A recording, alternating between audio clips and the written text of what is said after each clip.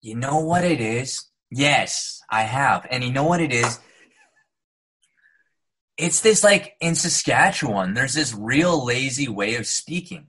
And we speak out of the back of our mouth. And it's like, there's not a lot of jaw movement or anything like that. But then I took a standard North American dialect class in Toronto for acting. And I just kind of made my accent more American all the time so I don't need to worry about it. And what that did is it started rounding out all the sounds. And then all of a sudden the, the voice just started sounding like McConaughey. And I was like, oh, for Christ's sake. Because when I was auditioning, I had this casting director friend. She's like, she's like, Eric, we need to see you. We can't have another McConaughey. And I'm like, I'm not trying to do it. I'm like, that's just, I'm like, that's how it sounds. But yeah, yeah, that is a thing. Yeah. A thing. Well, listen, because this is a podcast, people can't see you, right? Yeah, yeah. I don't so, look like McConaughey. So, so thank you, Matthew McConaughey, for joining me today. all right, all right, all right,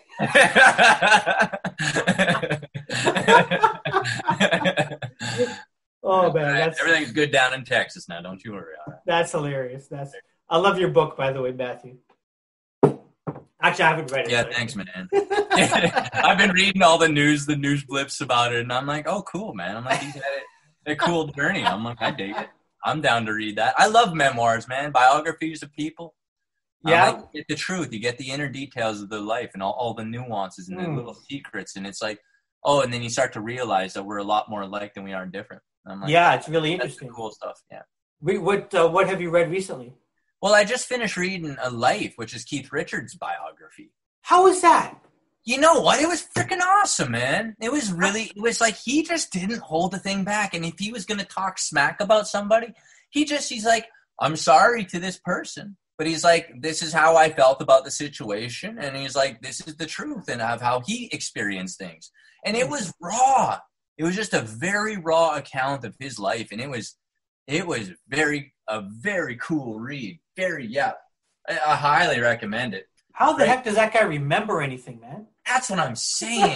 but you know what he does when he doesn't remember? He yeah. gets accounts from other people who do remember, and okay. so you get these nice, like little one, two page quotes of oh. other people telling their point of view of the story. And then Keith's like, "Yeah, that makes sense. That's what happened."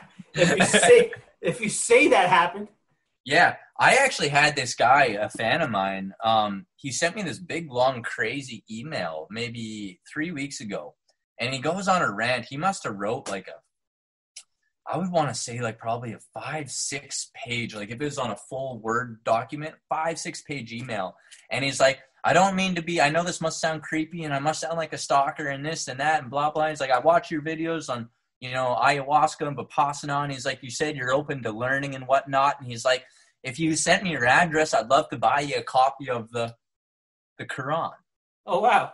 Yeah, and so I didn't give him my address and I didn't respond to the email, although I will. But I was like, you know what? I, I need to give the Quran a, a reading. I've always wanted to read the Quran. Yeah. So I just actually picked it up from the library today. And I'm actually super excited to read this. I, I've I've heard, I've read references from other uh, spiritual books that the Quran actually holds a lot of truth to it. And so, yeah, exactly. And that's what I said. Interesting. And so I'm really curious to see what it is about this book that has, you know, uh, really taken over a whole culture and and a lot of people just take it as the ultimate truth. And I'm like, yeah. well, let's see what the heck it's about. Where where did you get this this curi- this drive of curiosity how, how did you develop that? Were yeah. your parents curious? Were you? Yeah, they... well, no, it was. I know my mom. My mom always wanted us to be like the smartest kids around, mm-hmm. and so with like both sets of grandparents were there, and we had extended family everywhere helping raise us, and so it was always encouraged to learn everything. You know, arts. Your parents taught us art and drawing and painting and arts and crafts and and then in school it was really pushed upon us to study and to really care about what we were learning. And so my brother and i were both we loved school. Like we mm. really enjoyed learning all the subjects. And then it was like you know i was big into sports too. So it was always i wanted to explore different sports and what i like but my dad always used to say he's like he came he came from a business kind of background. He was in the